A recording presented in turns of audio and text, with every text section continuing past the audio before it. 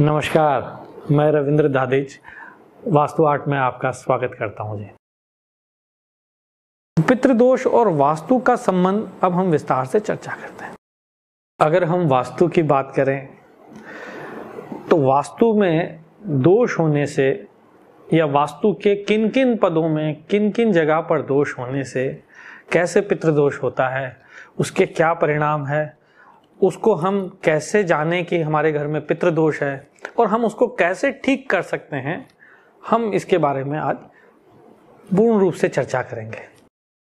सबसे पहले ये देखें कि पितृदोष से क्या क्या परेशानियाँ आती है। कौन कौन सी ऐसी परेशानियाँ हैं जो पितृदोष के कारण उत्पन्न होती है? सबसे पहले, स्वास्थ्य का नुकसान होना, बीमारी होना। किसी भी घर में जिसमें बीमारी रहती है, जिसके अंदर लोग प्राय प्राय मैंने सुनने में आता है कि जी हमारे एक को अस्पताल दिखाते हैं, फिर दूसरे, वो ठीक होता है, तब तक दूसरे का नंबर आता है और हमारा सारा का सारा पैसा वो बीमारियों के अंदर जाए जा रहा है। दूसरे तरीके का दोष होता है कि घर में संतान उत्पत्ति नहीं हो पाती। संतान होती है, वो मृत होती है। मिसकैरेजेस होते हैं। संतान हो ही नहीं पाती है। इनफर्टिलिटी निसंतानता, वो भी पितृदोष उसका एक अहम कारण है। हम देखेंगे कि जिसके घर में शादी नहीं हो रही है, लड़के कुंवारे हैं, लड़कियाँ कुंवारी है, उनका देर उम्र तक उनकी शादी हो रही है, विवाह बड़ी लेट हो रहा है, उसका भी अहम कारण पित्र है। हम देखेंगे कि संतान होना,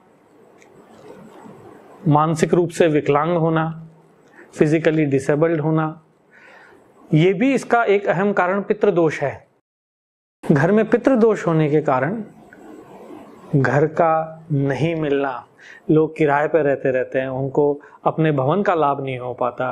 पूरी ज़िंदगी वो किराए के ऑफ़िस के अंदर, किराए की फैक्ट्री के अंदर वो पूरा निकाल देते हैं। पर जहाँ पितृदोष होता है, वहाँ पर वो उनको भवन का लाभ नहीं मिल पाता।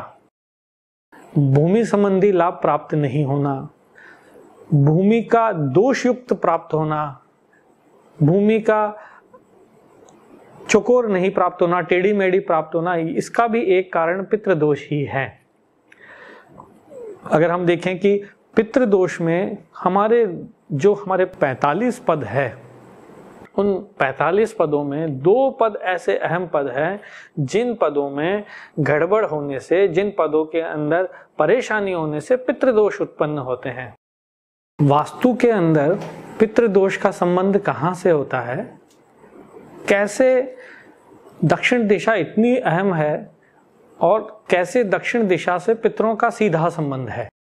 दक्षिण के अंदर दो पद ऐसे हैं, जिन पद में अगर गड़बड़ी होती है तो उस घर के अंदर पितृदोष होते ही होते हैं।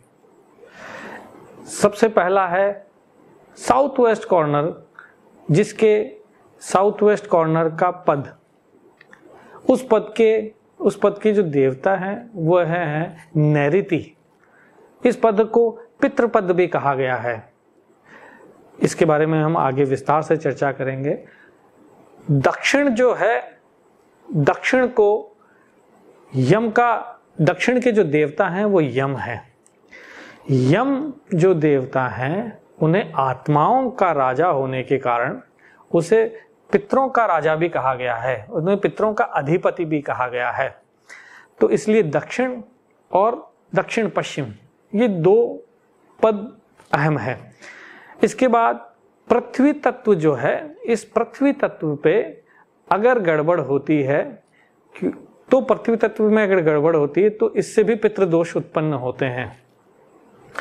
तो पृथ्वी तत्व में अगर आप किसी के भी घर में, अगर पृथ्वी तत्व में, यानी साउथ वेस्ट कोने के अंदर अगर गड्ढा होगा, फर्श नीचा होगा, अगर साउथ वेस्ट हल्का होगा, अगर साउथ वेस्ट या साउथ नीचे बना हुआ होगा, अगर साउथ वेस्ट या साउथ पे पानी का टैंक होगा, अंडरग्राउंड अंडरग्राउंड सेप्टिक टैंक होगा, अंडरग्राउंड रेन वाटर हार्वेस्टिंग होगा या पानी वहाँ पर इकट्ठा होगा, या साउथ या साउथ वेस्ट में नाला होगा, तालाब होगा, ये भी पितृदोष के अहम कारण बनते हैं।